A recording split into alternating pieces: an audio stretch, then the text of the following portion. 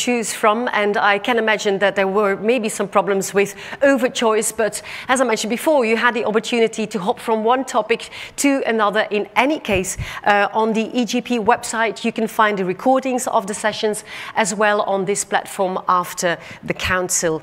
And of course there was also just a few minutes ago the group picture that was uh, taken uh, to support uh, the rule of law and the EU budget action. I hope I truly hope that you participated in in this action with uh, the paper with the hashtag don't give in. Um, it would be also very nice if you took a selfie with uh, the paper and the hashtag and mention it um, with the hashtag EGP32 and hashtag don't give in and uh, post it on all your socials. That would be very uh, much appreciated. For the next hour and a half, ladies and gentlemen, we will discuss the topic just transition. Climate change has been a topic the Greens have fought for over many, many years. And finally, finally, things are changing and moving. There is the European Green Deal, the Just Transition Fund, and a recently adopted climate law. But there is a very important consequence that should not be overlooked. It's mentioned also in the Sustainable Development Goals that nobody should be left behind in the transition process. And this is something that politicians and policymakers should bear in mind if they, for example, decide to phase out the coal mining industry. So I'm very much looking forward to the next discussion uh, with a panel of policymakers, experts and grassroots activists. And I leave you in the very capable hands of the moderator Jean Lambert. For 20 years she was MEP for the British Greens and last year she became a committee member of the European Greens. Mrs Lambert, the floor is yours. Well, thank you very much for the introduction, Francesca, and I'm really looking forward to this panel. As you say, we have some really excellent speakers with us. And what we want to do in this is to look at the current proposals from the European Union. How do we make them work in a way which reduces our climate emissions, moves us towards climate neutrality, and which works for workers and the communities which are most affected by many of the changes we want to make. And as you said, in Poland, as in a number of countries, it's the coal, it's the lignite sector, which is a particular focus of attention, and we'll address that amongst other things this afternoon. But with our panel, well, chair's privilege, I have a number of questions I want to pose at the beginning, but please write your questions in the question and answer, and we'll pick up on some of them um, in this meeting. The speakers we have today, let me introduce them. First, uh, we have Bas Eickhout, former colleague of mine, still he's still an MEP, Vice President of the Greens EFA Group in the European Parliament.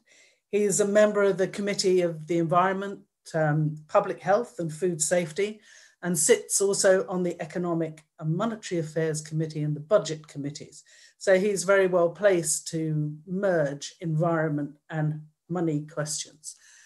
We were due to be joined by minister from the new recently formed Belgian government, be the sixth EU um, country with Greens in government now.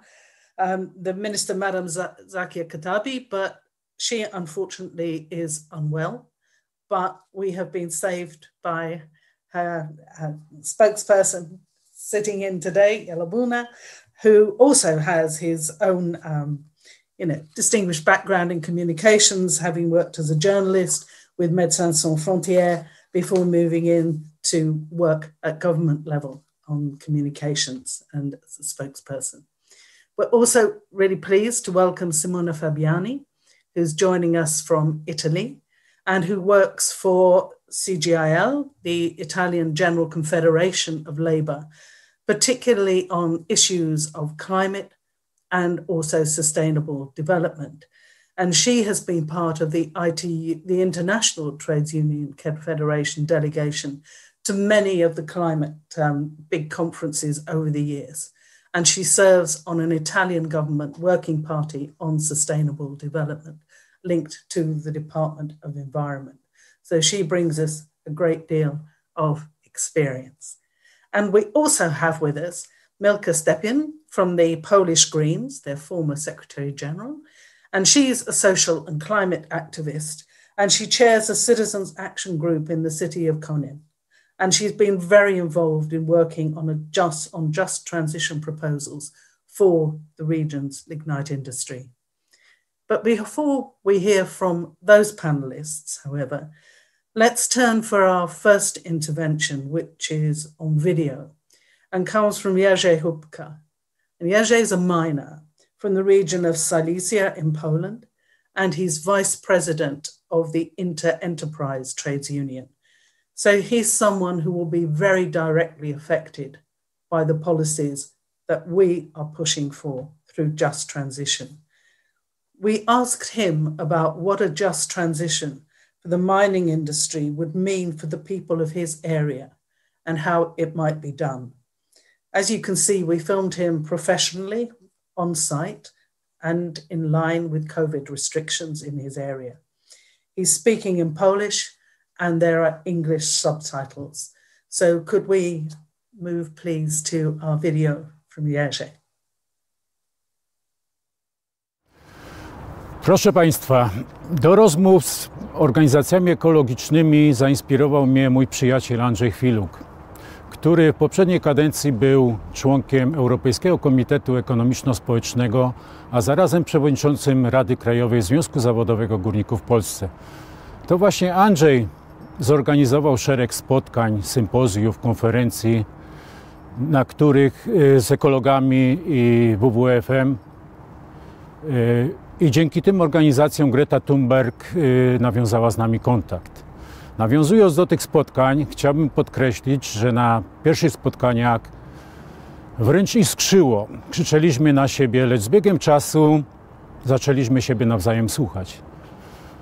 Dlatego zdaję sobie sprawę z tego, że tylko bezpośredni kontakt i rozmowa daje możliwość i szansę na wzajemne zrozumienie, a jednocześnie na wypracowanie pomysłów, i różnych planów z korzyścią dla wszystkich.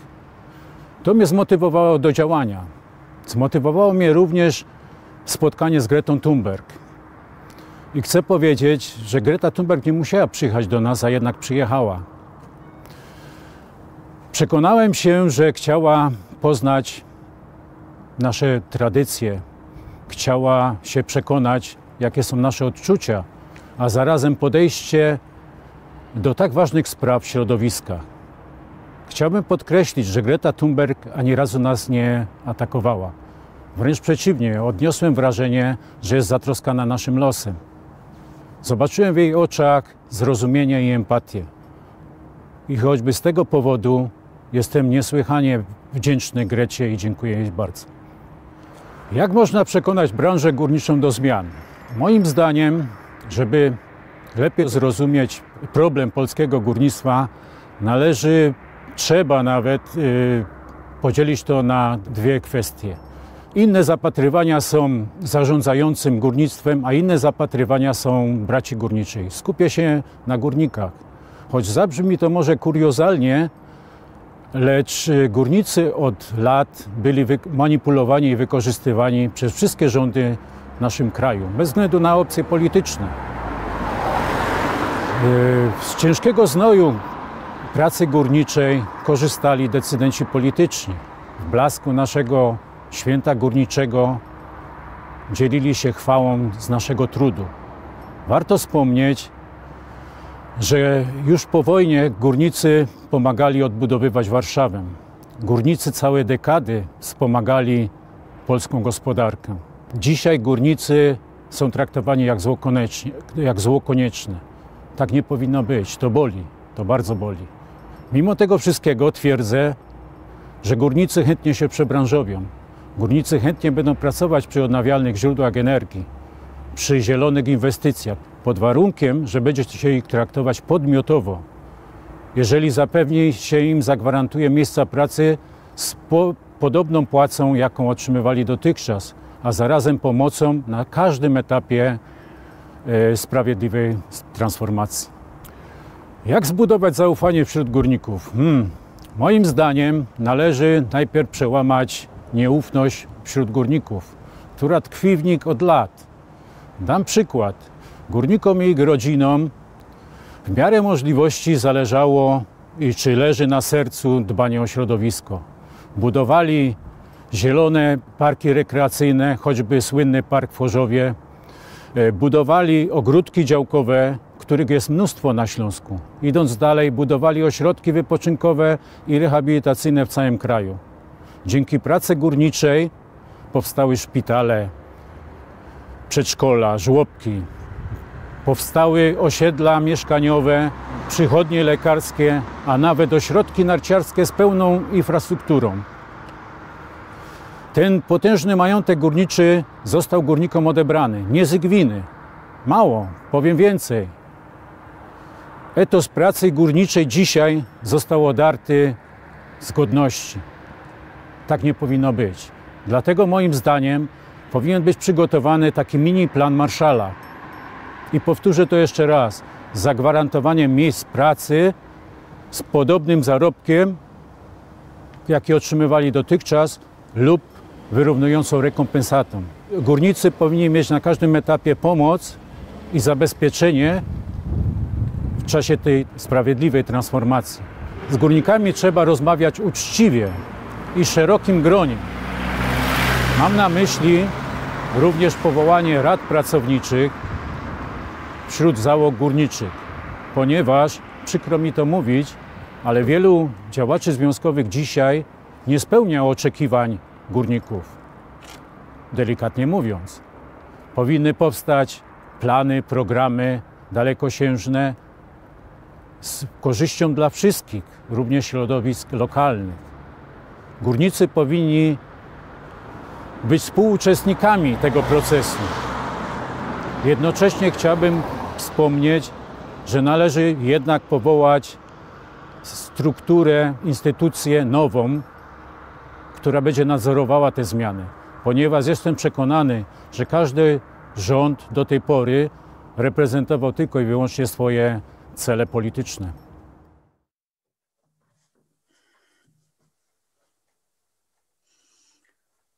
Okay, well, I gather that uh, video is finished. Unfortunately, we as the speakers couldn't see it, but I hope that um, those of you who could you appreciated the very powerful points that were being made there about the process of change as well as the outcome.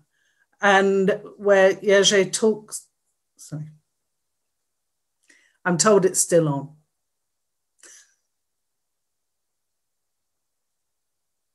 No. Okay. No, I'm sorry. I'm slight technical hiccups there. So, um, but where Jerzy talks about how the miners want to be the subjects, not the objects of this transition. So, therefore, to be really engaged. And we'll come back to some of those points later on. But I wanted to start with a, a question to Bas um, which is a, a bit of context, I suppose, Bas, about what is on the table.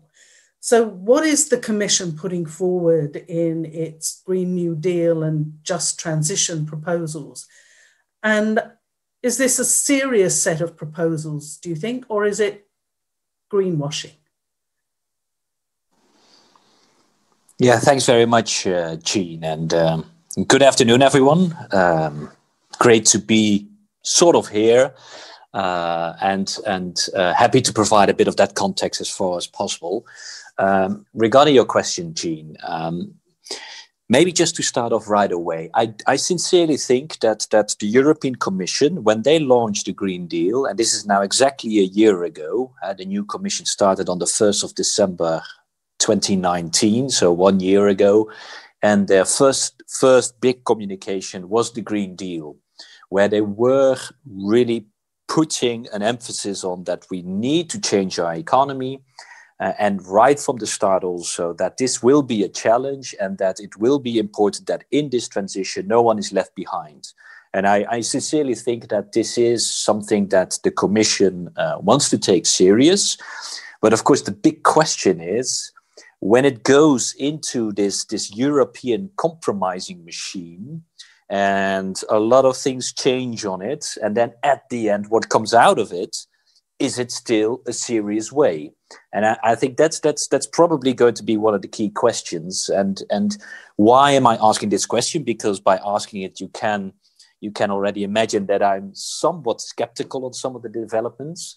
Um, first of all, when this proposal was published in January 2020, so it is was one of the proposals that the Commission put out. Um, immediately, you had a setting where the different member states were fighting over getting an even share of that piece of money. Whereas if you are serious and seriously looking at just transition, I think everyone realizes that there are huge differences between Europe and there are different needs. But if then on top of that, even a country like Germany claims a piece of the pie for just transition. I'm not saying that also not in Germany you have quite a substantial a need for change in some of the regions, but you can wonder whether a country like Germany, or for that matter, my country, the Netherlands, really is in need for European money there. So there already you see the kind of where it starts with the idea leave no one behind. It very quickly gets into a kind of a horse trading of countries, everyone fighting over their piece. Secondly, what is of course for us very important is if you do a just transition, then at least the region that you think the money should go to should be in a serious transition. So, for example, uh, we are talking quite quite a lot about coal when we are talking about just transition. By the way, I think it's important to realize that this fund should be there for a much longer period, and we're not only talking about coal. But I think in the first instance, it's it's logical that we are thinking of coal regions because that's where the transition is is needed the first. Um, when you are uh, talking about regions that that uh, should get money from a just transition fund, of course, what should be then the, the core uh, starting point is that that region commits to a coal phase out. And then you can also get that just transition. Well, that is not always 100% clear either. So this is one of the problems that we have as a Greens, that of course, when you are identifying regions who should get it, there should be a very serious transition plan behind. Um, the third element, which is still of a, a tricky one, is what you also see is when there is a new fund, a lot of players jump on that fund and would like to have their bid on it as well. And for example, we are now seeing that in the European Parliament, for example, when initially, what is the idea of just transition? Leave no one behind. This is money that should go to the regions. This is money that should go to the employees. This is money that should be used for reskilling, for really looking at how you can get to other jobs. This is money that should be invested in the social infrastructure of these regions. That's, that's the entire idea. But what you see now is that, for example, the gas lobby sees a potential of getting money out of the just transition because gas is better than coal. And you get into a kind of a classic European fight over money and the same old industry fighting over that money again. And at the end, you wonder how much money will really end up at the people. And this is not just another fund that ends up in the industry that then so called needs to be developed in that region, which we agree with, but if only that money goes to that industry, and in the end, who knows uh, what what will end up at the former employees? That is still one of those big battles for the implementation. So, yes, a sincere start, uh, but both councils, so member states, but also we have to be frank here, the European Parliament who indeed included gas as a kind of a beneficiary of the just transition. That was not in the initial proposal, but the European Parliament has in its position that that should be possible. So you see there that the lawmakers, both at the member state side and in the European Parliament side, are slowing it down, weakening it, uh, and, and watering it down, basically. And the initial idea in that sense is, is, is slowly drifting away. And I think that is really one of the key concerns that we are having because it's crucial for this transition. But of course, then let's make sure that it happens in the right way. And, and I wouldn't call it greenwashing, Jean, to cl- conclude. That's maybe too strong, but serious concerns we absolutely have. Mm-hmm. Thank you. So that's setting some of the issues on the, the table at the start. Simona, can I come to you and ask, you know, how important is this whole issue of the Green Deal and just transition for the trade union movement in the European Union? Because a lot of the first ideas for this were coming from the international trade union level. So, is it serious for, you know, do you think this is a serious proposal? Yes, uh, thank you, Jane, and uh, hello to everybody. I'm so excited to be here with you and um, uh, answering to your uh, question. Uh, yes, um, Green Deal and just transition mechanism is uh, very important for trade union movement we agree with the, the principle and the, with the goals of uh, Green Deal, and uh, we share also a lot of the, the strategy put uh, in the table by the European Commission. I think uh, of um, uh, biodiversity strategy, uh, farm to fork strategy, climate law, and, and so on. But we share the principle saw, but we are we have to be sure that uh, that goal will be done.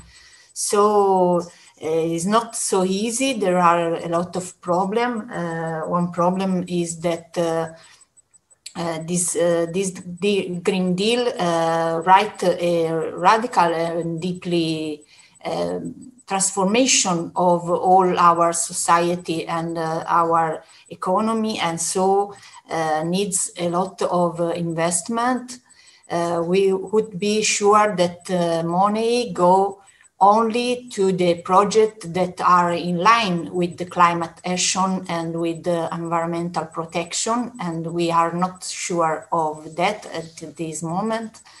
And then also the money is not enough. And uh, also uh, about the just transition mechanism there are some limits because um, the priority of the mechanism is for the region that are deeply um, linked to fossil fuel, in particular coal and lignite. But uh, the kind of transformation we have in mind is uh, not only decarbonization, but uh, uh, sustainable development that change everything. So all sector of the economy are engaged. I think of uh, agriculture. I think of uh, um, um, uh, energy intensive industries. I think of automotive. If we want to have, to to have a sustainable mobility, we have to think of more collective uh, transport and less um, private mo mo mobility. So there is uh, all sector are engaged in the transformation, and so we have to we need uh, a just transition that uh, can ensure uh, worker not only in the coal sector but in all the sector of the economy. Uh, so I think that uh, a lot of other things uh, are to, to be done, Uh, at both at European level, but uh, also state have uh, a great responsibility because uh, Green Deal is an hope for the future, for our future, but we have to be really, really strong to, to respect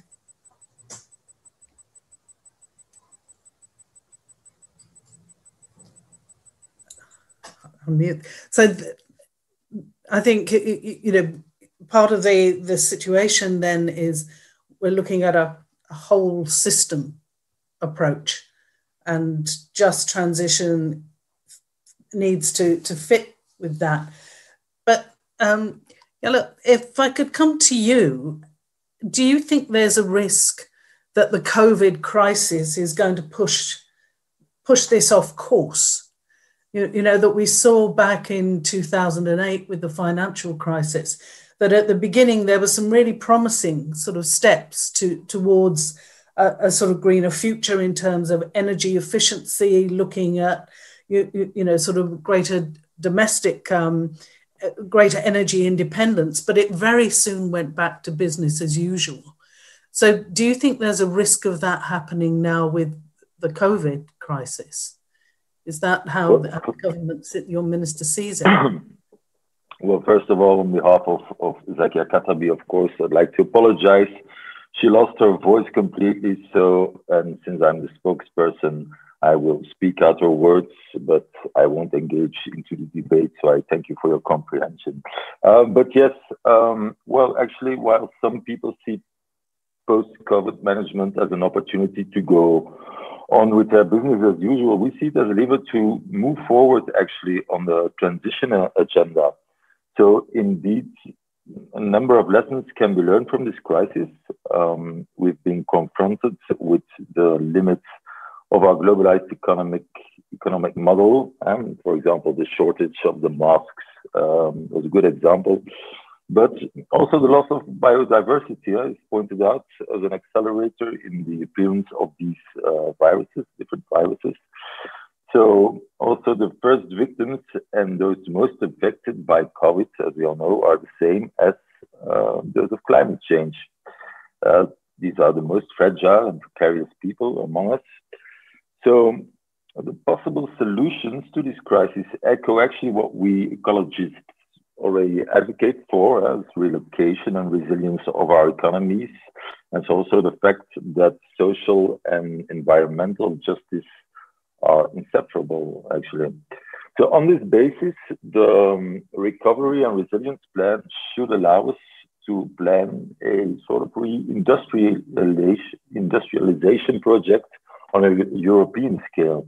Um, at least as far as our vital as the vital functions go, and these are concerns here. That's like healthcare, uh, products, uh, the foods, clothing. Um, so we need to invest in the shortest possible and realistic circuits. Thank you. And you know, done right, this can you know it can sort of interlock and within this, the, the, all the proposals going on with the EU budget and so on at the moment, but there's a requirement, you know, to spend sort of 30% on sort of tackling climate change and, and so on.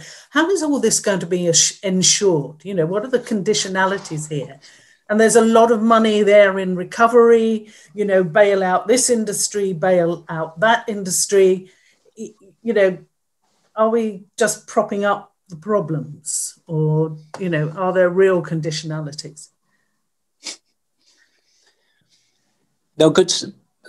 Thanks for the question jean. Uh, maybe just first to, to I, if you allow me I, I, jump a bit to uh, where the corona is putting us off track uh, as Jelle said. Um, I think it is interesting to see that at the European level, for the first time ever, there is now a discussion of a serious European investment plan. I mean, that has never really been there before. And even a country like the Netherlands, where I come from, and uh, apologies for my government for that, but they have a kind of a consistent position that as soon as it's about money and Europe and put the two together, they get very nervous.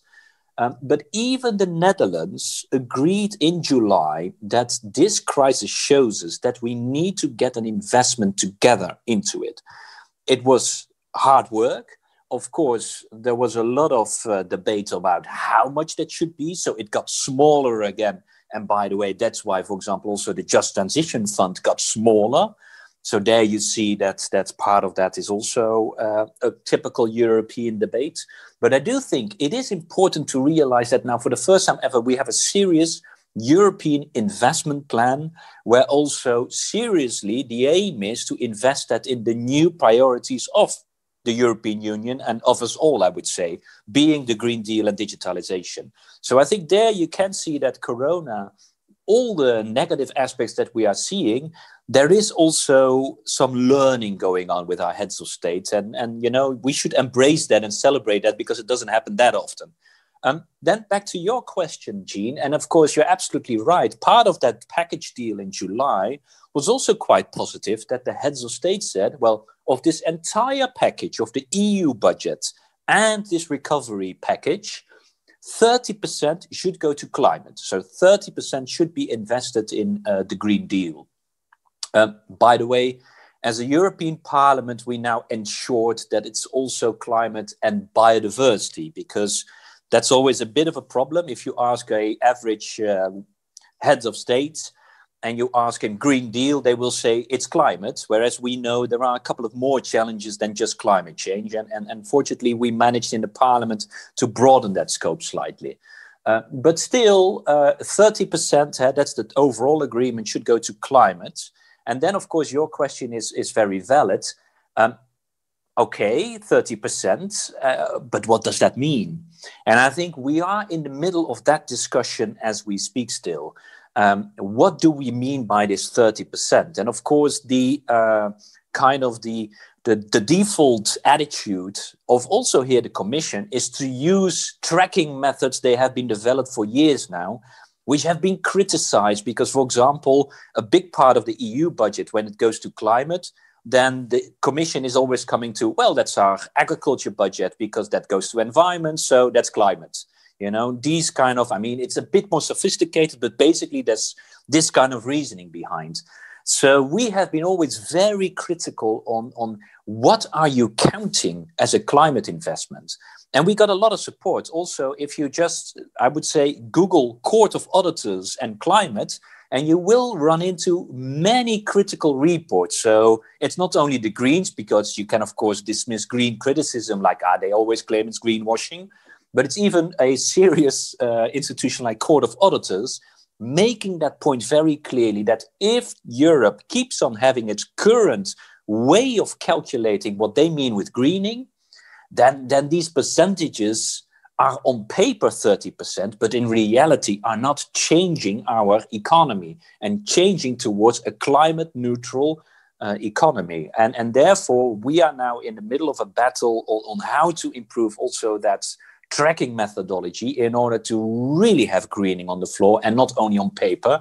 But as I said, the jury is still out, Jean. So bear with us. This is still an ongoing fight, but but we do feel that there is a bit more support also now coming from the Commission because if they claim that these are new priorities and this is how they call it the next generation. Well, if you then use the tracking uh, methodologies from 10 years ago, I think even the Commission realizes that next generation might be a bit of a difficult uh, uh, frame. So, work in progress yeah, uh, always work in progress. And but Milka, where, where you're looking at the, the, the Polish government and you, you, know spending a percentage of money on climate with, as Bas has pointed out, not the best mechanisms for tracking anyway. How do you how prepared do you think the Polish government is for channeling money towards spending on climate and biodiversity measures? Uh, that's a very difficult question, actually. so, um, as uh, Bas has been apologizing for the uh, Dutch government, I think uh, um, uh, I, as a Polish Green, would have to apologize for uh, the Polish government with which I have nothing in common, but unfortunately, they are from my own country. Um, it's um, since I work mostly on the ground. Uh, I'm um, I work within a region that is a lignite mining region currently in the just transition process. Um, we have to observe both what's going on on the European level on, and on the Polish level. Uh, because uh, uh, what happens at that level influences uh, what money we will be getting, what processes we need to go through, and the planning that we're doing. Um, so, um, as maybe some good information uh, at the beginning of, uh, of what I'm what I'm talking about, um, uh, my region, the Wielkopolska Wschodnia or Eastern uh, Greater Poland, uh, will be putting in a plan in uh, to the to the European Commission in which it will be um, committing to climate neutrality by 2040. Uh, so this is probably one of the most ambitious plans so far in Poland. Uh, to remind you, there are at least uh, six coal regions in Poland, uh, two of which are lignite mining regions, the rest is black coal. Um, this is a lignite mining region, one of the smaller ones. Uh, but because it is smaller, um, we have managed to get to the point within the last three years where we're sort of the, the pioneering region at the moment of the just transition in Poland.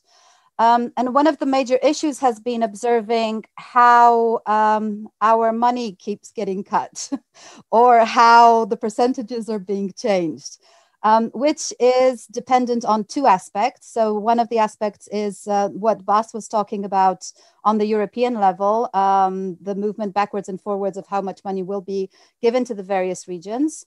And the other thing is, of course, um, the Polish government's um, inability to um, give a climate goal or to uh, give a commitment to a climate goal. Um, at the same time, one of the things I would like to note is that um, I think Poland is uh, going to be something like uh, the USA, where at the national level, uh, we don't have commitment to uh, going away from coal, while on the regional level, most of the regional governments uh, are at the moment going through transition processes. Um, I've taken part in the last three months in a number of uh, meetings of various groups that are preparing plans for the coal phase out. So um, this situation has actually been um, sped up by the fact that there is a just transition fund. Uh, there is awareness that this is not enough to conduct the just transition, but we are in, in the midst of uh, creating plans.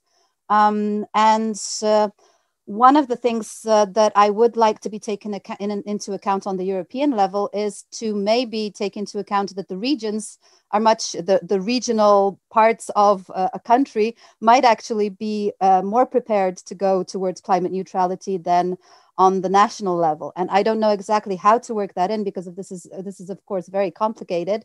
Um, but if you have a region like mine, which has um, I think the most ambitious goal in the Polish um, uh, in, in, Poland. Um, it would be a shame that you know its uh, budget is cut because the Polish government is not on board with that. Uh, at the same time, um, it has another danger, I would say, uh, because there has been an increased in- interest on the um, national level uh, in the Just Transition Fund, in the Green Deal, and the money that would uh, be coming out of that. There's a lot of danger that um, uh, some of that money, there will be attempts to centralize that money and use it specifically for, um, for example, modernizing the energy, um, the energy network in Poland, or for helping the big uh, industries, the national companies, energy companies, uh, to modernize or to switch, for example, to gas or to nuclear, because of course our uh, plan, the current Polish government's plan, uh, involves six uh, nuclear nuclear power plants by 2060, I think, um, which of course is very difficult in terms of economy. Uh, so one of the big things that we as activists on the ground level are noting is that this is a huge danger um, and that this needs to be addressed specifically in the requirements for Just Transition Fund and for other funds that will be aimed at helping areas like uh, like mine. Thank you. Okay, thank you. And if we can move to to Italy, Simona, I mean, how prepared is the Italian government to really move towards reducing its climate emissions, spending this 30% on genuine, um, you, you, know, projects and to deal with climate change and biodiversity? Or are you maybe a bit like Poland, where some of the regions, you know, are moving ahead, and the government still is not sure what it's it's doing? I, I really don't know because um, uh, trade union uh, in Italy have uh, um, asked uh, to the government to open a discussion with uh, us to um, to, to um, discuss about uh, what we can put inside our recovery plan on how the um, use the, the, the resources of next generation EU but the government at the moment has not uh, give us the opportunity to discuss about this. So I can say uh, what uh, is my opinion. I have uh, some doubt that the uh, government is uh, ready to planning uh, this radical change because Italy has not at the moment a strategy, a long-term strategy for the decarbonization. Our um, energy and climate uh, plan is not uh, reviewed in the in the light to raise the ambition in line with the, new target of uh, European uh, uh, Green Deal. We have no a plan of uh, adaptation on climate change and uh, we have no no plan, not measure, and not uh, a, a, democratic process to discuss about just transition. So I don't know what can be the the project and the reforms that our government can put inside uh, the recovery plan if there is there is not a planning uh, about uh, a strategy uh, of what uh, would be the change in the transformation in uh, in our country and um, uh, I would like to say also that a lot of money are, are already be spent because of the uh, recovery to the climate uh, to the COVID crisis. So there have been a lot of uh, law in Italy to restore enterprises um, that are facing the, the crisis, the economic crisis consequences to the COVID. And uh, this, uh, a lot of money would be used with the conditionality. So uh, they, the government could put some conditionality uh, to the enterprises to give them money if they keep uh, seriously ecological reconversion of production or decarbonization. But this is not uh, what they are done. So all this money are spent without uh, conditionality, and so uh, this make possible that uh, business as usual go on. And the other issues also, I think Bas speak about this, is uh, what could be uh, considered also decarbonization. Uh, we, we are discussing in Italy about uh, um, capture uh, of cap capture air storage. Uh, this is not for for for um, for my trade union. Is not this the solution? We think that uh, we could invest in uh, renewable energy, efficiency energy, uh, the protection of uh, ecosystem and restore of ecosystem. Uh, we we have um, give a document of the of, of our Italian Parliament when we uh, say what are uh, our priority for the recovery plan and we have uh, only five points so i can say to you there are um, um, health instruction decarbonization and protection of the environment uh, sustainable jobs and infrastructure for digitalization these are our priority, but uh, I don't know at the moment uh, the priority of the government. And I think the next few days they will present uh, the project, and uh, we hope to can open a, a discussion, a democratic uh, discussion in our country. But I don't know if there there will be this opportunity. This is and when you think that, you know, Italy is supposed to be, would have been hosting COP26 this year, you, you know, and sort of the British government has, even the British government has made steps because that, you know, it's now taking place in the UK, albeit next year. I think, you know, there are so many lost opportunities, aren't there? But if I can come maybe to Belgium, I mean, you know, we've heard people sort of apologize for their governments and whatever. And then Greens look at Belgium and we think, oh, we have at least Greens are in government now, admittedly, very recently. But, you know, are things looking better there? We, have, we, we, we will have expectations. So, you know, but what are the realities for, for Belgium when it's trying to make the, these sort of changes and really move forward on, you know, the funding conditionalities, the spending the 30%, etc.? Is there, is there hope in Belgium? Well, first of all, I'm happy that Belgian politics makes some people happy, apparently. Um, uh, first of all, Ms. Uh, Minister Khattabi Zakia would try to live up uh, to the high expectations of all European Greens. Uh, the stakes are high, but we are very ambitious.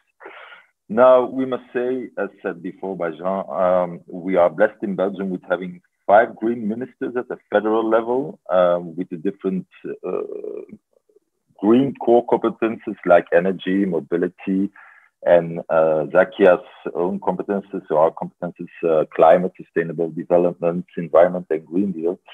So we are blessed.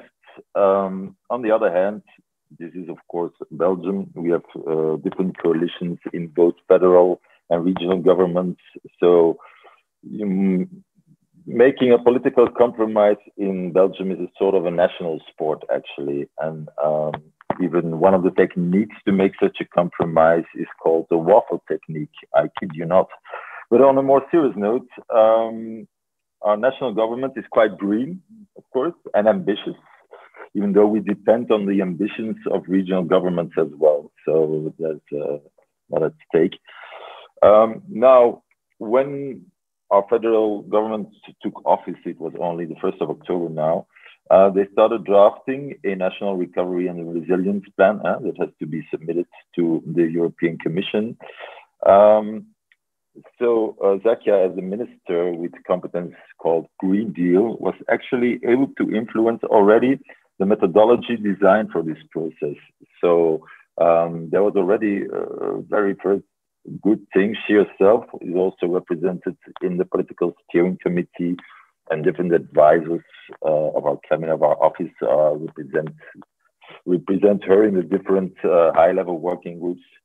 Now, um, apart from this ambitious federal government plan, um, Ms. Khattabi uh, considers her best political ally actually um, or it remains European level and the ambition stated by the Commission. Um, so today she's not longer only referring to the political program of the Greens, but she also is referring to the European roadmap, uh, the principles of do no harm, do not roll back, and leave no one behind. Offer um, offer guarantees that actually that the Minister Khattabi could probably not have imposed herself at our national level. So um, in Belgium, we only just got started. So we are very hopeful. There's a lot of potential, and we're really ambitious, and uh, we're sure. Uh, but the proof of the pudding of the pudding is in the eating, as always. Thank you.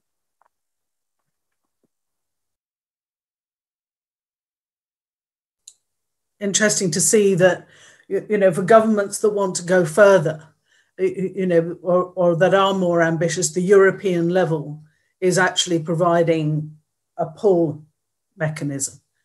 So if we've got that and a push coming from the regions, then the two together can have a, a real influence on, on government. I wanted to pick up a question that, that's come in um, from Richard Balters, which is when we're looking at sort of just transition and moving from one industry to another. And we talk a lot about the, the new technologies and so on that we need.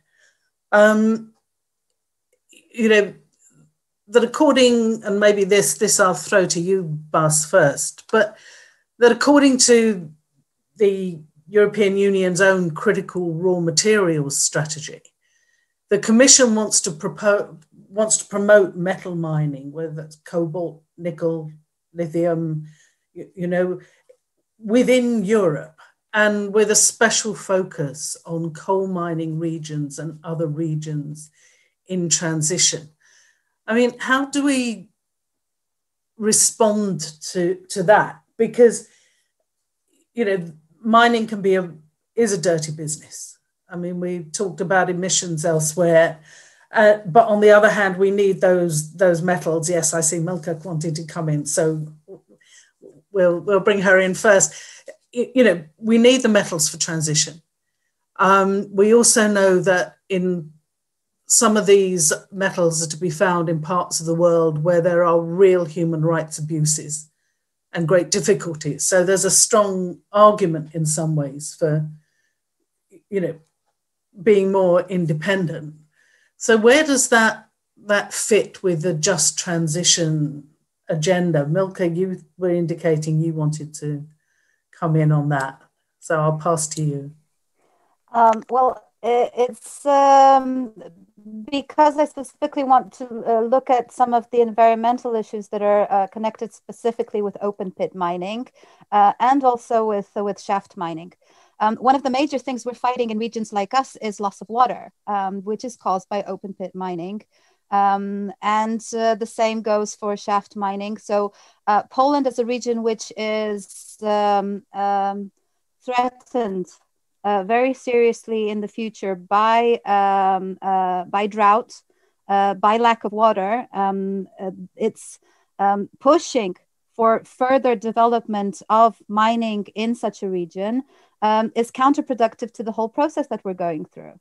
So, um, one of the m- most uh, important uh, stepping stones of the recent process that we had uh, here, for example, is that uh, two open uh, pit mines that had been planned uh, have officially been deemed that they will not be opened within the next within the next. Um, they won't be opened. Basically, we're going away. We're moving away from open pit mining. if we start opening the road for the continuation of such practices in such areas, um, we are not solving the problem. We're solving the problem of uh, the energy plants, but we're not solving the uh, water uh, based problems that we have in, in these regions. Um, in Poland specifically, this would be mainly Bełchatów, which has the largest uh, uh, energy plants uh, in the region and some of the largest um, um, coal mines, open pit coal mines and my region. Um, these are regions which have uh, climate connected um, uh, climate connected drought.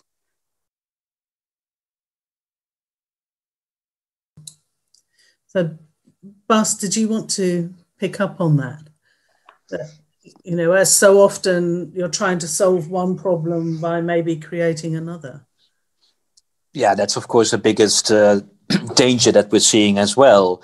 I think this all shows, and and and Milka's uh, reply and example is is very illust- uh, illustrative for that. Is that we really need, as a European Union as a whole, really need to think of what do we mean by climate neutrality by 2050 and this transition. I mean, I really think too often people are just throwing in such a promise without really thinking through what it means. It is, it is a, it is really a huge shift of our economy, which I think is absolutely worthwhile to pursue. But it's, it's only a success if Europe as a whole is working in direction and we think strategically in all the different sectors uh, of our economy. This is not just about one sector, because indeed, if you don't do it correctly, then we are creating the problems that Milka explained. Then you're just replacing one open mine pit by another one. But that's not, not any solution, is it? So, uh, and of course, that's why also, as part of this Green Deal, it's not only a climate agenda, it is also talking about circular economy, where we are using much more of the resources again and again and the waste flows, minimizing the waste flows in order not to always go to um, prime coal mines again to get our resources from. Uh, and, and this is part of that entire part uh, of that entire package. And, and Europe is also finally realizing that for that you need a serious industrial strategy. I think 10 years ago, that was a terminology that Greens may have been using already, but was, of course, a taboo in the policies because, you know, we were in this liberal frame, coming a bit from Thatcher, Jean, uh, where it is like, oh, sorry for that, she's off. Um, no, so um, where where the idea was, well, we we don't need a big government. Leave it to the private sector. They know better, and they can do the changes. And the government is is not needed almost, right? I think we are finally coming back from that, where we are realizing that if we do not have an active government thinking of a European industrial strategy, we will not get there, which is, of course, already a first problem. But secondly, as Europe, we will not work together in the same direction in order to really profit from it as a entire continent. And I think this just shows this is just an, an example that shows how complicated but also how challenging it is and how good it can be if we do it right. And that is, of course, the big if, but we, we can still do it right. And I think, indeed, with a couple of more Greens in governments, probably it would, would, would be easier on top of that. Yeah. I mean, the more at the table moving in the, the same direction, you can do that. And of course, I will add to the apologies for various governments. You know, I mean, the yes, at least the, the UK, the, the European Union will now be able to, yes, operate without um, the UK, but that is a personal pain. I leave this. But in terms of this, when we're looking at industries, you know, and regions where we really want to change one of the industries, coal or whatever, and we really want to do that in the way that is a just transition. Um, what are the key things that make it a just transition? I mean, Simona, you were talking about being left out by government, but at the the the level of where you're trying to shift an industry and go through a just transition, what are the necessary things to make that work? Do you think? Yes. I think that uh, there are some things that uh, are uh, necessary to, to do a just transition. First of all, uh, we need the participation because when you have to change um, the life in a, in a region, her economic and social life in a region, you have to engage also the community, trade union, uh, local authorities, uh, researcher, all the um, all the people that lives in this area would be engaged. Um, worker for for first. Uh, this is the first time. The other things is that uh, if you have to to close some uh, some activities or close or transform deeply some activities, you have to create new job because uh, we cannot uh, say so to the people that uh, they have to lose their job without having another opportunity. So, for example, uh, we in Italy we are to face the uh, phase out of coal in 2025. So we have five years. We have to planning what do you want to do when you close these plants and uh, you have to build new activity, new opportunity, new job, and to use this time to uh, uh, to um, create the new skill and training for worker and uh, you have to have um, social safety net, uh, universal social safety net, and uh, also lifelong learning for all job, because they have to prepare to the new um, new skill that are requested in a different kind of economy.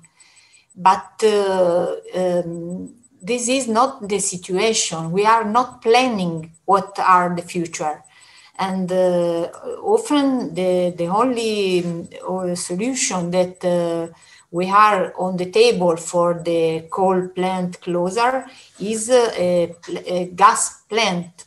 So another fossil fuel, um, another fossil fuel plant.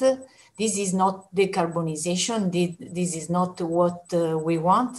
But sometimes this is all, the only real opportunity for the workers So this uh, would be also a contradiction uh, within the, the trade union movement because uh, work, the worker see the, the, the only um, the only real uh, change is another plant, a, a, fossil fuel plant. So this would be not the, the, the, the situation. We want that uh, we use the, the, the money that uh, we have in this uh, time to create new sustainable job. So there are a lot of uh, things, a lot of job that uh, we can create. We know well that uh, in a sustainable uh, model, uh, there are a lot of job more than when the, the, the, job that we lose in this unsustainable system but we have to ensure to workers that that new job are in the same region and at the same time. They don't want to uh, live for for hope or for dream. They want to to have their income for for them and for their family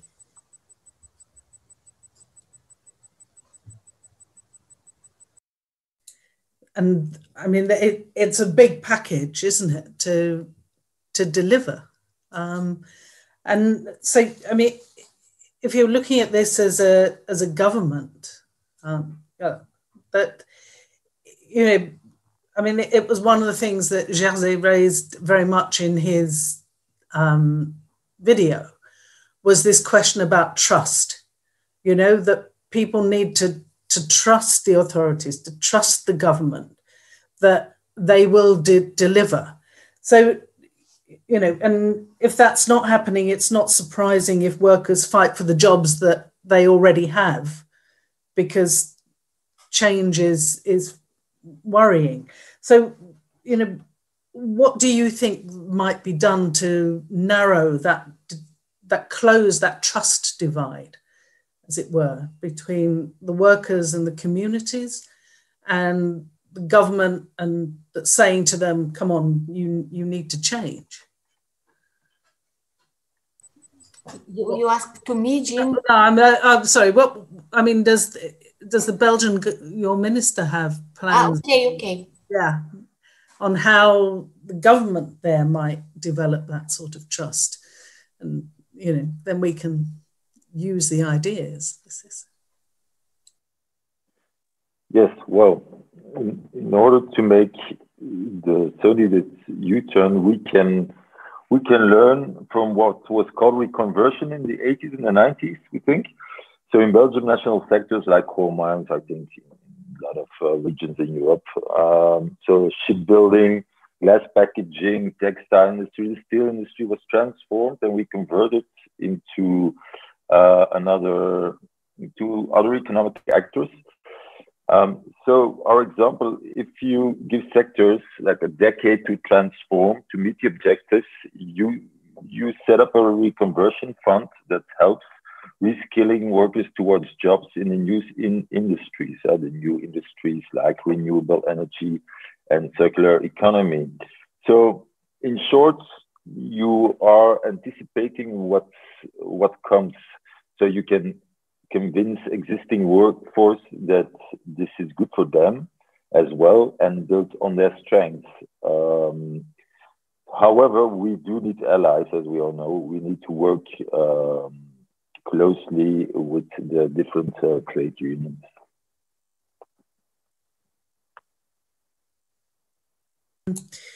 So they, I'm losing my, my questions a bit, but you, you know, within that, I mean, one of the the questions that has come in, which I I think I'm going to have to throw to you, Bas, um, is about you know that we've talked about the European Union uh, trying to accelerate this within the EU.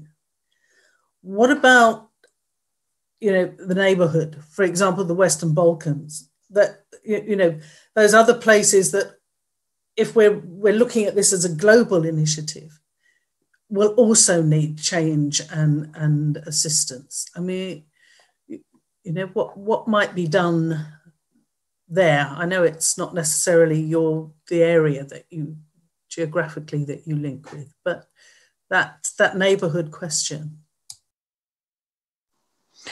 No, absolutely. I mean, um, it's a very good question, I would say, because um, when we are talking about a Green Deal and a transition of our economy, we do this hopefully that the entire world will do this transition, right? Uh, I think, I mean, in Europe, we are well positioned in order to maybe do the first steps and, and, and probably make some mistakes where others can learn from, let's put it that way. Uh, but of course, in the end, this this this is a challenge, and this is an agenda for our global society. This is at the core of the Sustainable Development Goals that the UN uh, has formulated, rightfully so. And indeed, I would say Europe has a specific responsibility also in its neighborhood policy. Uh, certainly to those countries who we would like to see as part of the EU, so where we are or already in accession talks, or at least discussing whether we should open this uh, uh, um, accession talks. Uh, for example, uh, now very concretely on the table for North Macedonia, where again another country is now blocking it. Finally, that we have solved the name issue, and then Bulgaria uh, steps in for pure national reasons. Um, which is already again not a very good signal you give to those regions of, of our neighborhood, I would say. Um, but we, we tend to forget a bit, and that is a bit of a danger. What I see with the European Union is that we are getting, well, not nationalistic because it's at least a continent, but how do you call it? Continentalistic? I don't know how to call it, but that you are kind of, okay, we as Europe should solve it. We saw it very much in the budget negotiations. Um, what was cut was of course the money going to outside the EU because we are we're so fighting over the money within the EU. And I think these are really not good signals that we are giving as a European Union. And we should not forget that this challenge is for everywhere. Can I just jump to a couple of the issues that you that that you raised before because I wanted to jump in because I think when you are talking about how can we really ensure that that these elements we're talking about are now really reaching the people, right, and not get stuck somewhere uh, at a at a at a at a government's level, whatever level that may be, uh, and also talking about trust. I think in Europe we do have two major problems here that are not so easy to solve, but I think you need to throw them in in order to to see a bit the broader issue. The first of all is, of course, Europe is too much oriented along national member states. And if you talk about trust, and I think Milka mentioned it already, there is so much more happening at the regional level. And this is true for each country in the European Union, even also for smaller countries. But it is there is a lot of movement, there's a lot of change going on at the regional level. At the national level, it's quite often very polarized and stuck at political for politicized reasons. And, and we have this problem in all our countries. And as long as Europe, Brussels, only negotiates with the national capitals, we have a big problem.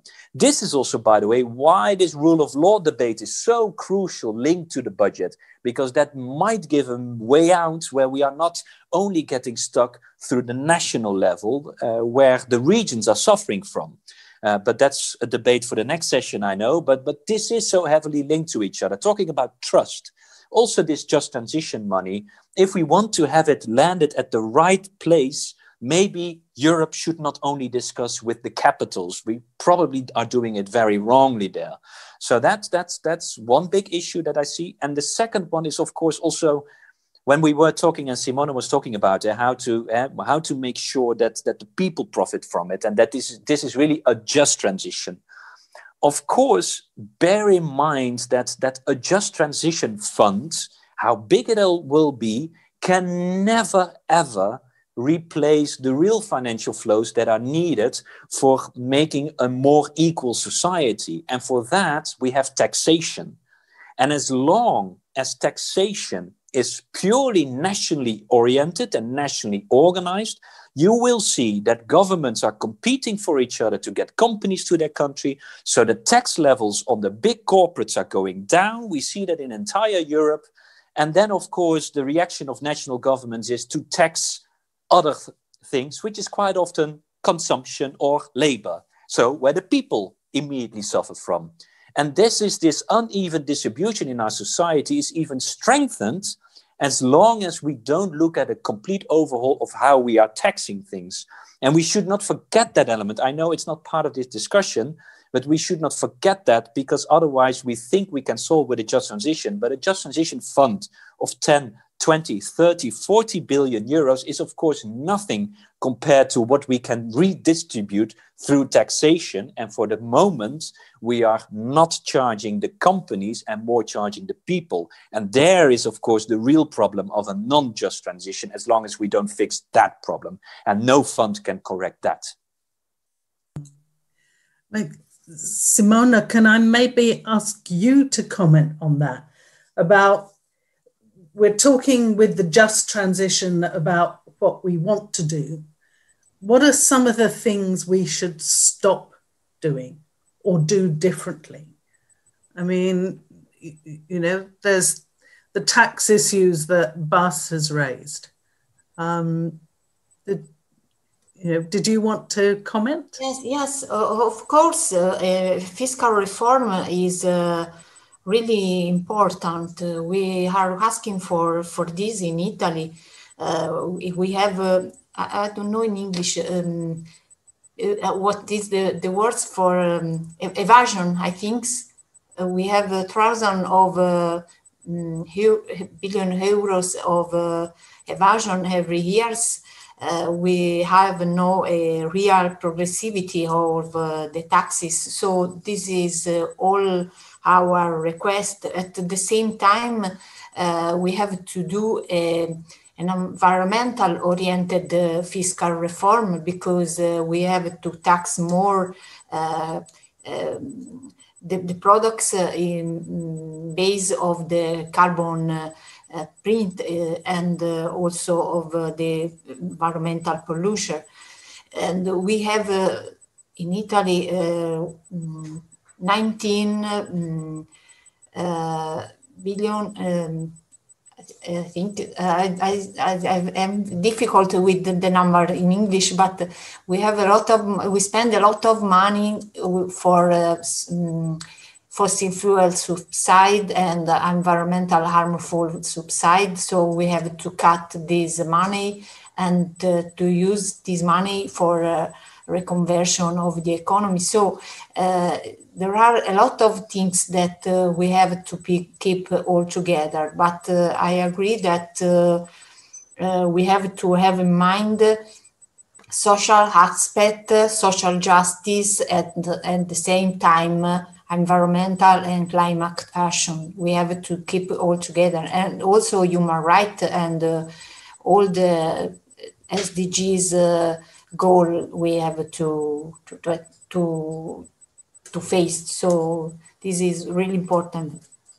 Yeah. Yeah, I mean, one another question that's come in has been links to what you were just saying about, um, you, you know, the subsidies and the imports. But I um, know that Bas will have a comment on this, and Milka wave if you have. But the question is, you know, about what Greens can do about the way in which the EU, as it were, imports emissions from outside and you know and then maybe the exports of waste to neighboring countries or the global south and where that fits with in that wider view of just transition that you were talking about no, absolutely. Uh, key question, of course, because indeed sometimes the Europeans are are claiming very proudly that that our footprint is is is declining, so we're doing a great job, isn't it? And then we forget to tell that that basically we are importing products from all over the world, and and and we forget to count that for our uh, footprint. Now, I think, and, and quite often, by the way, with European companies all over the world in, in, in, in deep with their hands into it, I would say. No, and I think here, uh, and this is also one of the, the, the key agendas that we are putting forward as Greens, and quite some colleagues are working on that as well at the same time. And hopefully, we now get some signals that the Commission is picking that up as well is to, of course, look at the responsibility of the companies throughout the entire production chain. And not only as Europe, uh, clean up your own backyards and making sure that the production within Europe is clean, but that the companies who are doing that and the products we are importing, that throughout this entire chain, the companies are taking their responsibility and we also expect them to do so. Eh? And that's then the call to due diligence in the terminology, but it just basically means that throughout the entire production chain, the company should clean up and not only when they have their production situated here. And I think that is um, that is a crucial element. Plus, of course, as I said, a more fundamental discussion about the industrial agenda that Europe needs to have, which of course, for a very long while was just let it go, let the let the companies go to the places where it's the cheapest, both environmentally speaking as labor uh, cost speaking.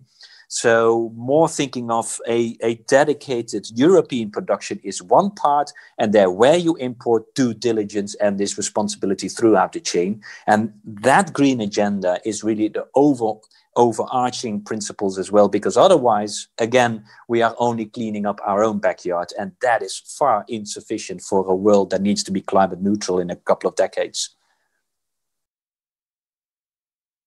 Within the um, the issues that that have been raised with this is the the issue that there are some parts of government that still don't really understand what this transition is about. That I think Jerzy made the point as well that in his area, some of the trades unions were also not fully engaged in just transition. Um, that you know we're asked, are we asking people to make a change that many actually don't really understand? you know so i think my question would be as are we as a society ready for the changes that we need and how can we help make that a deeper understanding milka do you want to come in on, on that first and i'll ask all the panelists because we're moving to the end. Yes, definitely. I would like to uh, discuss this issue because this is something I've been thinking uh, a lot about. Um, so one of the one of the things is is that um, uh, these changes are happening very fast. Uh, so two years ago in my region there was no talk of uh, a coal phase out. At the moment uh, we're we're at the forefront in Poland at least uh, of uh, moving towards climate neutrality, of talking about uh, coal phase out, of closing down open pit mines. Um, and uh, you will have a lot of variety of, of reactions. Um, at the same time, you have to remember that in places like this, um, these have been places that have been going downhill for 30 years. Um, uh, there has been restructurization of the uh, of the coal industries and the energy plants. There have been less and less people um, uh, employed here. So, in a way, uh, what is happening now is also a chance for such regions. Um, one of the things that, uh, going back to the trust issue, um, transparency is extremely important in transparency of the decision making process. This is something that is um, that is lacking. Also because it's uh, at the moment it's very complicated uh, because we don't know if the re- decisions will be made at the regional level at the national level or at the european level and which decisions will be made which. Um, and another is uh, that for greenwashing purposes, uh, sometimes the whole process is a little bit blurred um, so that we on the ground don't really know who is making the decisions and how the funds will be um, uh, divided. This creates mistrust in the whole change process. Um, so um, it's obvious that people who will be losing their jobs um, are worried. They don't know what the direction is. So we need to be starting making um, regionally, nationally, on a European level, a clearer message. Uh, but I think first we need to figure out by ourselves where exactly and how we are heading. Um, and um, um, the the trust issue that was brought up here a, uh, a, number of, of times is extremely important, but also really difficult um, in the political framework that we're working in, because most uh, political parties think short term, uh, one election to the next election. They also think in terms of big investments that are flashy. Um, in the type of transformation that we need now, it's not about being flashy. It's about a whole lot of very complicated small changes, like uh, Simona mentioned, um, in agriculture, in how we look at water, in how we look at um, industry, in um, taking a different stance on the economy, in introducing real circular economy, um, and also avoiding greenwashing. So um, for a perfect example of that, I mean, in my region, they've been talking about uh, funding or um, helping along the local incineration plants um, uh, through the just transition process without understanding that this is not part of circular economy. This is not something that should be uh, planned on the long term, but again, it's a flashy investment um, uh, that they're trying to sell as green. Uh, these are specific issues um, that um, the the message gets lost along the way. I would also say that definitely regional and national governments are not prepared in such countries as Poland. Um, so when I come forward and I talk about progressive green ideas, um, this is completely new to them. At the same time, they are learning really fast. Um, there is a completely different approach at, right now. So a year ago, I was talking to local governments about uh, adaptation and mitigation, climate uh, adaptation and mitigation plans, and they had no idea what I was talking about. Now they're introducing it. Um, uh, so at the beginning, um, these the, I think the process has sped up. Uh, the process of change has sped up, and the process of raising awareness has sped, sped, sped up uh, because people are more aware, because in Poland, a lot more people believe in climate change than they used to a number of years ago, and a lot more of the um, voters are also pushing for a more serious approach to climate. So um, I would say there is a message of hope in this, uh, that these changes are speeding up. Uh, I still think it's not fast enough, of course, because as Greens, we know how fast we should be moving. Um, but uh, I still think it's a huge, huge change in comparison to even five, uh, and specifically, and, and, especially 10 years ago. This is months. You, within months, you see huge changes. Um, and I think that's it from here. I would like to say I, I, I always keep up the, the hope message because um, I can see these changes happening here. So that's Wow, I mean that that's really good to hear. Is you know something that that change is speeding up. I mean, Simona, do you think that there is a real understanding of the changes that needs to be made, and what what can trades unions do to help develop that understanding? I, thank you, Milka, for the hope message because I'm not so positive as Milka is. But uh, yes, I think that um, the society and trade union with the society is uh, ready to the change. But uh, the problem is the time. We have no time, and uh, I saw the political deci- dec- decision, but also entrepreneur and uh, media and uh, uh, instruction institution are not in line with the, the, the few time that we have at disposal. And uh, also people are awareness about the change we have to face but uh, i don't know how many people are disposal to change uh, their style of life. So we have in mind that uh, the other have to change, but uh, I don't know how many of us uh, want to reduce their consume or uh, go uh, by foot and not by car, or um, eat less meat, and so on. So I think uh, is a very hard change that uh, we have to face, and uh, I think the, the we like we as CGIL we are working hard to enforce our alliances we work uh, together with the environmental association, with the social movement, uh, with the Fridays for Future movement. Uh, we, we try to, to keep all together the,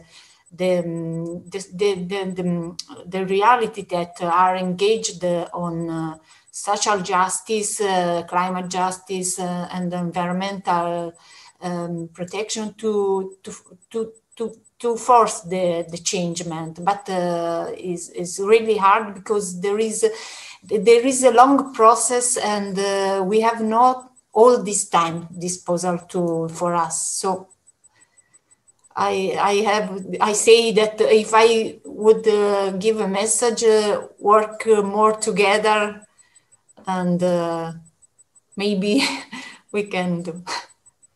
Excellent. And from the, the point of view um, you know, from the Belgian government, you, you know, what's the feeling there that does society really understand this need for change? Well, we think society still, if you call it society still needs to learn that there are a lot of trends that can turn easily into a crisis if we don't anticipate them. And we, unfortunately, we witnessed the pandemic, we, we witnessed COVID that has been announced by research institutes and public agency for at least 10 years ago and more. So um, we really have to be aware that all planetary boundaries can, even in short term, can be exceeded and turn into crisis. That's the first. Secondly, um, Minister Khattabi Zakia really thinks politicians need to show more leadership. Uh, in, in Belgium, for example, but I think in a lot of countries, political parties don't have the guts to, to make unpopular decisions. Um, so they need to show leadership and not, not only show leadership, they also need to explain to people with science as an ally, science based, uh, why people have to do things and how they can do it. Um, so um, taking civil civil participation into account at all levels of government. Um, so that's what uh, Minister Khattabi is working for, and she strongly believes in. And I must say, we are also optimistic. It's not because we are green parties that uh, being optimistic shouldn't be a moral duty for us as well on this note, I thank you. Thank you very much. And Bas, um, is being optimistic part of a moral duty for a Green politician then?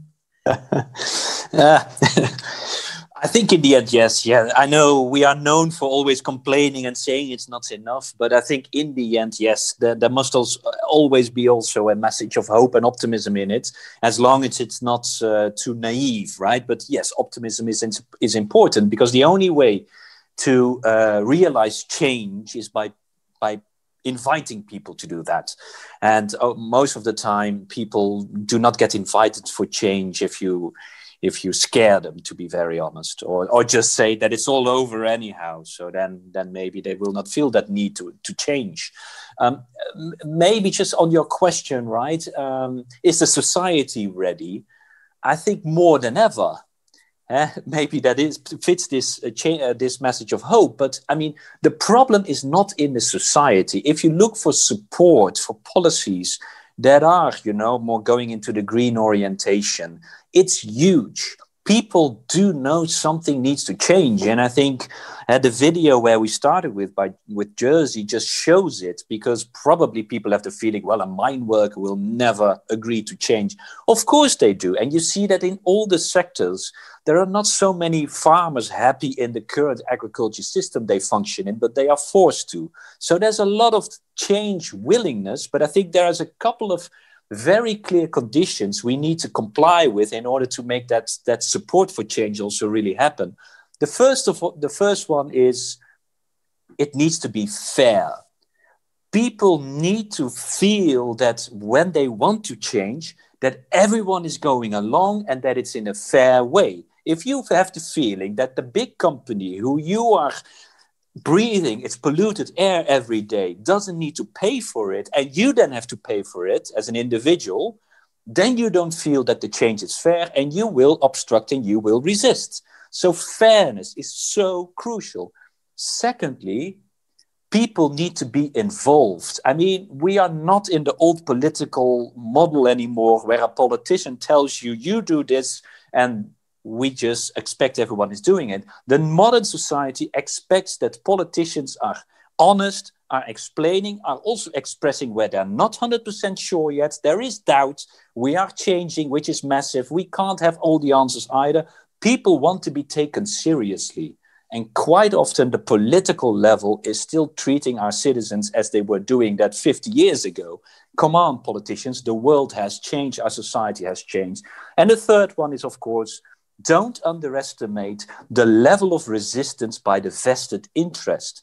We are going away from a fossil economy to a new economy, and there is a huge vested interest in the fossil economy. So, any politician that just thinks that by doing a nice speech here and there, and then people will understand where we're going to, and then getting all the lobby against it, you're not, don't be naive. And people will feel it because that brings it back to the first point. If you then listen too much to the lobbyists, it will not be fair because you are just excluding some of the sectors that sh- should change the first, maybe.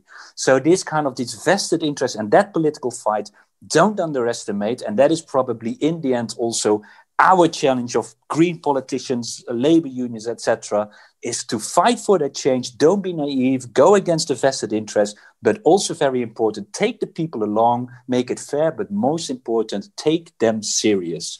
Probably then we can do it. Brilliant. Thank you very much indeed. Virtual applause for our, our panel. I think they've done a brilliant job this afternoon. Thank you all so much. And I want to thank all those as well who put questions in for this session and all of you that have shown interest, as well as, of course, all the staff that have worked so hard on putting it together. So to come back a bit to the introduction, um, you, you, know, to Jerzy's introduction that to reach the goals that we want, it's not only about the money and making sure it goes to the right places, but it's about the process of that change that, that trust has to be earned and that people are willing to change if the conditions are right, if they see things are fair, that they're transparent, that they are taken seriously. And so, as you say, that for those of us that are working for change, we have to ensure we really do make this a just transition, a fair transition, and not just change because those at the top are saying so. So thank you all very much for that. Let's say another round of virtual applause there. Thank you so much. And I will now hand you back to our host, Francesca, who I think will tell us what is happening next. So thank you all so much. And, you know, we'll see each other in real life at some point soon, I hope. Thank you. Thank you. Well, an applause from all of us here, which we can't give you in, in real time, unfortunately. But uh, thank you, of course, uh, Jean Lambert and the panelists uh, for the very interesting discussion on the challenges of the implementation of just transition and how important it is that nobody is left behind. It won't be easy, but discussions like these contribute to a thorough uh, public debate and hopefully also better policy. I know it has already been a very intense day with a lot of input. Uh, there's a lot to absorb uh, on a day like this, but I do hope, all of you, that you will join us for the last uh, plenary session, which starts at half past uh, six. Evelyne Huytebroeck will moderate the discussion on the rule of law crisis within the European Union. But before I let you go for a short break, I'd like to remind you there will be a second group picture taken at uh, 6.15, just in about 10 minutes, more or less. Um, it's uh, for the media campaign, social media campaign on abortion rights in Poland. And the only thing that you need to have is a black top and um, uh, a red lightning sign written on your hand or a piece of paper, whatever you choose. Uh, join us in the dedicated Zoom room, which you can find in the agenda on the left-hand side of this uh, platform. And it would also be very nice to take a selfie afterwards and post it on your socials. All right, we meet again at uh, 6.30 and don't forget to tune in at 6.15 for the group picture. Thank you.